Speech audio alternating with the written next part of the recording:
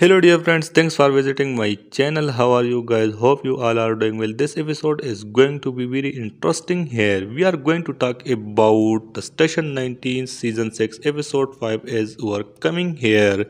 We are discussing with you. So guys, let's start. The Station 19 team work around the clock to rescue a group of employees that trap inside a battery recycling plant. Also Jake shows of at the clinic day to face new detail about his past in the Carina plants so is the special surprise in the attempt to reconnect with Maya. Next week episode is titled Pick Up the Pieces in the schedule to air the November 3rd.